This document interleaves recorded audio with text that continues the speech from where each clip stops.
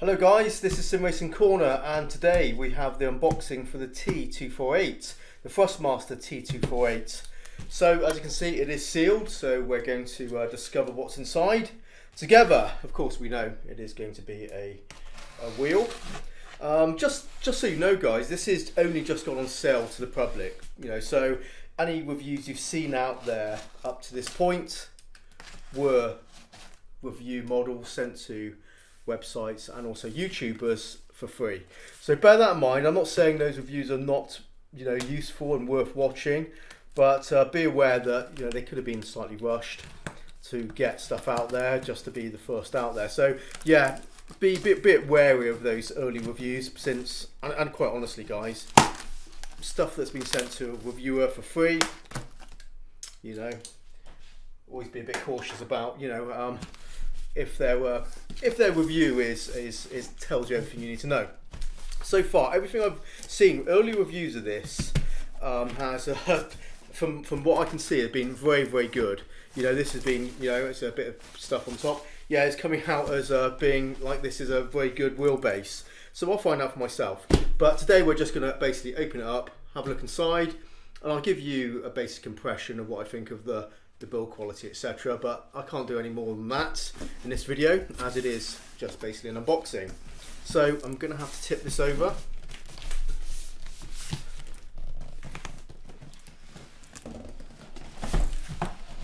And big reveal. Chuck this big box out of the way. It's upside down. Okay. So first thing you can see, um, this version of the T24 is PlayStation only, and indeed there will be an Xbox compatible one. This is obviously you know PlayStation and PC compatible, um, of course. And uh, just look around the box. That's that side.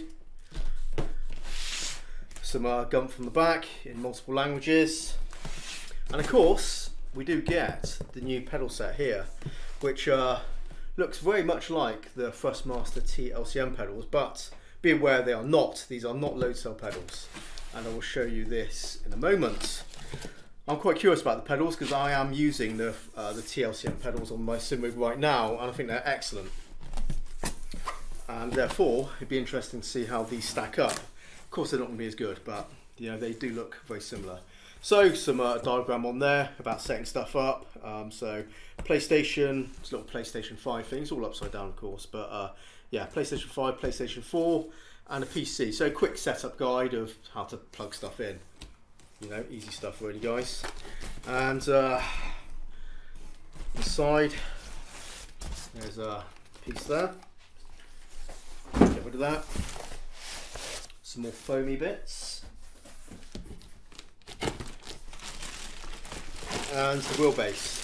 So let me put this to the side for the moment so I can get to the pedals as they are sort of hidden away.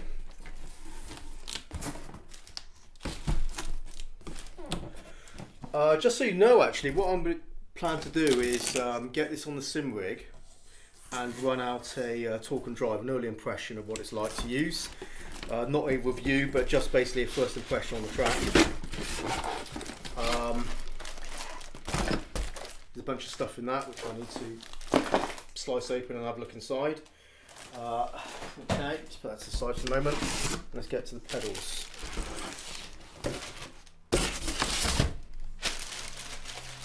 And carefully get rid of the box without hitting the camera.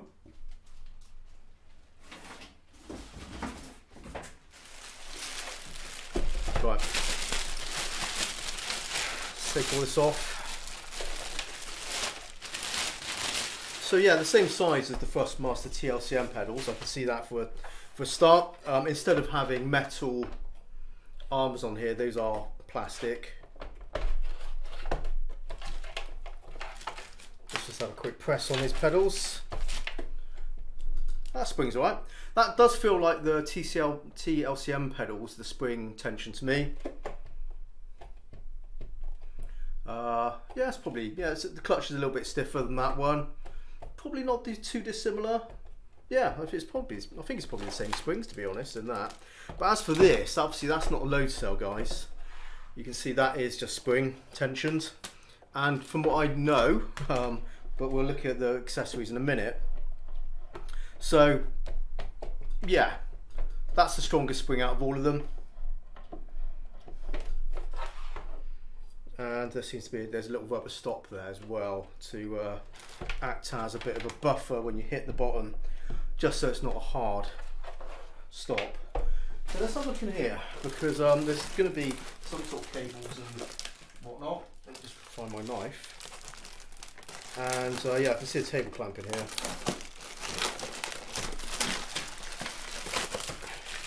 So what we have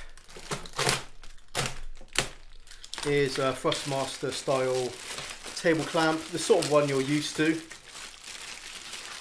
go, let's take it out. Yeah, so we're very much what you've seen before. Let's just chuck that to the side. See what else we have in here. So I can see we have uh, USB cable. So that's USB-C so I'm assuming it's for the wheelbase. And we do have another spring. I can't quite tell if this is a stronger spring or that one is installed on there, but you do have an extra spring there. Oh. Well done Thrustmaster. Just stuck everything to the sides. Okay.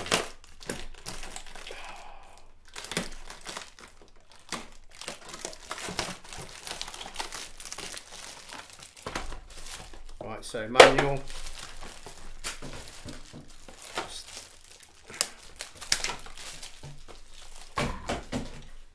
Get rid of this.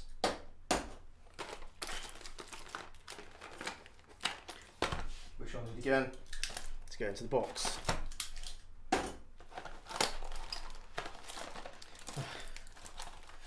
Try not to bust anything here, so I'm just going to slice the tape. Right, so, uh, power supply. Yep, so uh, blah blah 40 46 volt 48 watts power supply in there guys. Uh, spring and that. So let's chuck this to the side. Chuck that to the side. Look at the bottom Oh, that's quite good. So we have uh, mounting holes on here which um, do line up to the uh, the TLCM pedals, which is really handy for me since I have drilled my uh, pedal deck uh, for the TLCM pedals, which means I can then smash these on there. So they call these the T the T3 PM. so yeah, plastic.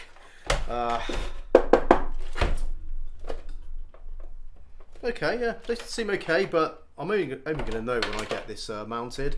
Um, but maybe I should just move these out of the way for the moment. As of course, the star of the show is this thing. Uh, okay. So I'm aware a lot of people um, have made comments on uh, forums, etc., and uh, you know have not liked the look of this wheel rim. They think it looks pretty ugly. Um, because it, it kind of looks like a, just a you know a standard car steering wheel. My Skoda Citigo, the steering wheel looks really similar to this. Quite honestly, guys, um, actually very compact. Look at the size of it compared to uh, previous Thrustmaster wheelbases. This is kind of kind of narrow. I like that. It's compact because you don't you know why would you need you know lots of stuff around it if you don't need to. So yeah, they've done a nice job of making it into a compact unit. Um, Okay, this is interesting. One thing I, I did want to check out because um, uh, um, is the friction you're going you get from this motor from this mechanism um, when it's off. Because on the T300, Thrustmaster T300, it's actually quite smooth. It rotates really smoothly. The um, the TMX and the T150, the entry level force feedback wheels, they have a bit of a grind to them and they are quite rough. And this is quite rough. So if I bring this up, you can hear that. So this is a, a gear and belt mechanism, and I have to say it's not too notchy. that's kind of a good thing. You're not feeling uh, lots of little bumps. It is there, but there is definitely a roughness from the mechanism here. When we turn it on, that may not be so bad, but we'll find out. From my, I'll find out because any friction you get from this wheel when it rotates is going to end up diminishing the force feedback, and that's why I wanted to check this out. But of course, when we turn it on, it may not be quite so bad. But yeah, interesting. Yeah, as you can see, look, if we spin it, it's not spinning particularly freely. It's being held up by the friction of the motor and bearings and what else, you know, what, and all the other things that connect the little motor in here to the steering shaft here. Um, yeah, so there you go. It has an arrangement of buttons, which, yeah, they feel okay. They just feel like standard buttons. Kind of like a console controller, really, those sort of buttons. So sort of, sort of rubber dome type things. I think the rest of them are the same as well. We have uh, this up and down switch on the left, one on the right as well. Interesting, that's quite useful. Use it for brake bias and other sort of things. Kind of useful little things that are very much uh, easy access to, to your thumbs. Uh, and also a nice feature, at least that's new to Thrustmaster wheels, is an integrated display there. So that can be a speedo and also tuning settings go right there. But it does depend on the game whether or not there is compatibility. So bear in mind there'll be some games out there which that display will not work for um, game telemetry. The actual um, rim itself, it's all plastic, so hard plastic there but it does have. I'm trying to find, work out what material that is. Just by smelling it, it's not. It's not leather. It's not leather. It's sort of like um, a foamy material, leather-like. But um, you can see if I uh, press it in, there's some give on there. And that does feel quite nice. I have to say that does. It's a it's a reasonably nice feeling ergonomics. It's uh, yeah my hands kind of go around the curves of the rim nicely so that's actually comfortable. And the softness of that is also quite nice. So yeah in my hands it actually feels okay. Although you can always you know you can feel the plasticness of the inner inner rim bit here. It feels right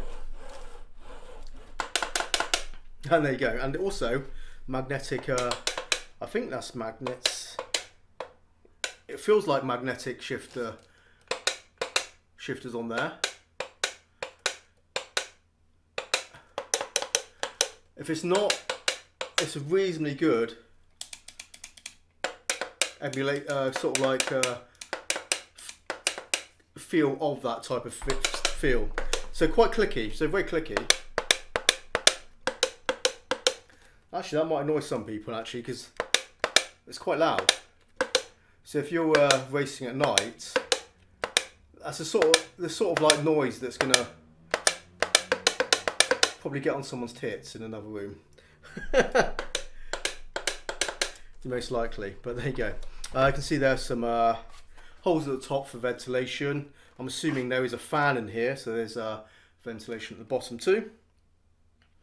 Um, okay, that's quite good as well. We have so that main screw there is for the table clamp and you do have a couple of hard mounting points there. So just a couple, uh, hmm, which may be a bit weird. I would hope to have at least something here as well so you have a little bit more security rather than it being just on two with a you know leverage of that. Not sure about that, but it does have, like I said, it does have those on there, but may you may feel it's going to lift a little bit when you're moving it, when you're kind of doing that. It may have a little bit of, um, it may not be so great. So, who knows? Um, ah, it's got a little uh, Velcro strap there for the cables. It's kind of nice, and some channels there for also taking the cables away underneath from the sockets here. So it's all there.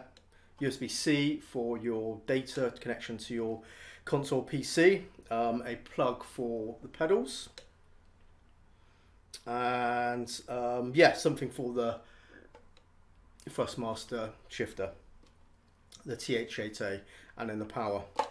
So yeah, and rubber pads there. Yeah, feels solid enough. It's kind of what you expect. Um, yeah. The Thrustmaster T248, guys. I guess that's that's about it, isn't it? It's just an unboxing, just showing you around it, give you an idea what it kind of feels like in my hands, just uh, playing around with it. It feels, um, yeah, it feels solid like other Thrustmaster wheels. There's no play, friction there.